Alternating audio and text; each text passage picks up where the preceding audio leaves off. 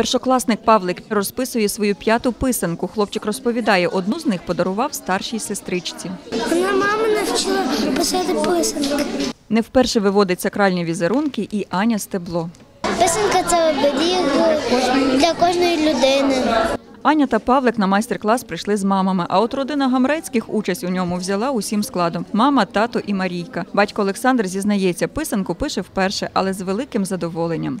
Тут різниці немає, чи чоловіча, чи жіноча робота. Ну, взагалі писати писанку може кожний. Кожний. Тут, ну, не знаю. Головне зацікавленість, щоб була люд- людина. Мамі новий досвід теж сподобався, як і маленькій Марійці.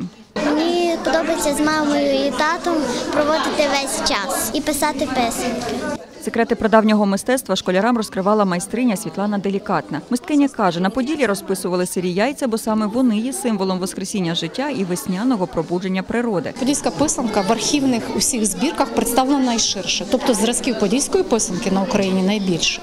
Це перший такий позитивний варіант для нас, для всіх. Е, Подільська писанка дуже стримана в кольорах. Основний колір червоний, жовтий і чорний. Додається лише декілька блакитного, можливо, і зеленого, буквально в маленьких елементах. У нас дуже великий візерунок, як правило, рослинний орнамент у нас наноситься або геометрія. І це її особливість. Діти працювали із задоволенням. Такі майстер-класи повертають до нас стародавнє мистецтво. Переконана мама Ані Стебло Леся. Важливо, напевно, щоб це не було не тільки як мода, а щоб це було як стиль життя.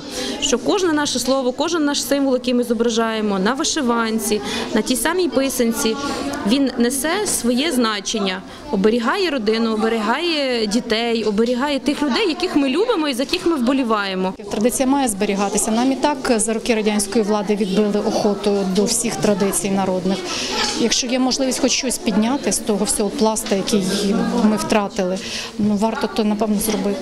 Поки гріють діда, так поки топчуть ряст, поки пишуть писанки, до тих пір буде існувати Україна. Ольга Нісмянова, Юрій Чорний. Новини Поділля Центр.